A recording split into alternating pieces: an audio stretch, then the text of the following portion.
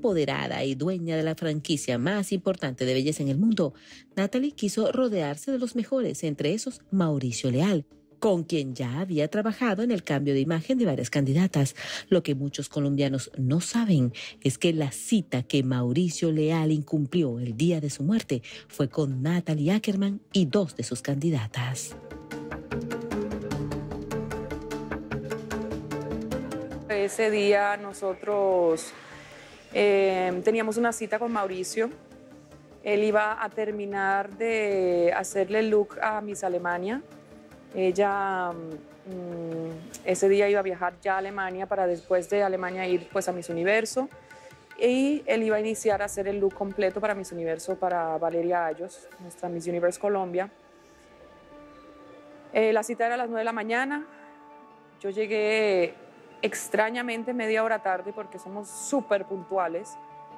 Y él, yo pregunté si había llegado y me dijeron no. Y yo dije, ah, bueno, qué bueno, también está llegó tarde, pero ese llegó tarde fue que nunca llegó. Ellas ya habían llegado, ellos llegaron a las 9 y 30, a las 9 y 35, yo llegué a las 9 y 42 eh, de la mañana y pues él no había llegado. Entonces me empezaron a acosar y pues yo también acosándolo a él a ver qué era lo que pasaba y nada.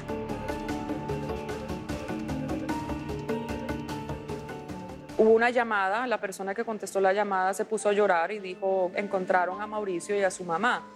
En ningún momento se manejó el tema de suicidio y mm, ya cuando más adelante yo empiezo a ver eso pues en redes, más que nada, como apenas a las tres horas empezó a explotar eso en redes y decían pues el suicidio.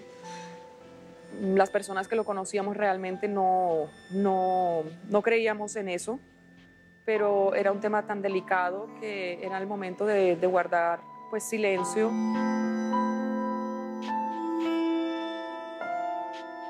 El último look que él hizo en vida fue a, a Miss Alemania, pues ella, imagínate cómo se sentía ella. Las señoras de Miss Universe eh, también empezaron a sospechar porque, digamos que la noticia se regó en cuestión de minutos. Ella regresó al hotel y yo le dije, Nati, ¿qué pasó? Porque ya terminaron tan rápido y ella estaba en shock, o sea, mejor dicho, casi pálida. Y me dice, no, es que... Eh, han matado a Mauricio Leal, pues está muerto, no se sabía todavía qué había pasado realmente y pues obviamente para mí también fue, o sea, una noticia traumática, pienso que eso es algo terrible lo que pasó. Siento que eso le impactó mucho a Natalie, el ver que, que estaba muerto, el ver que tener una cita, el ver que en los últimos días de la vida de Mauricio Leal estuvo muy cercano a la organización, pues por el trabajo que venían desarrollando. Fue algo que golpeó, que fue no creer y que pues impactó muchísimo a Natalie, a las reinas y a la organización como tal. Realmente fue muy sorprendente, doloroso y, bueno, y además todos los desenlaces posteriores eh, increíbles, en realidad. Es una cosa que, que, fue muy fuerte para todo, para todo el país y, y, sobre todo para este gremio.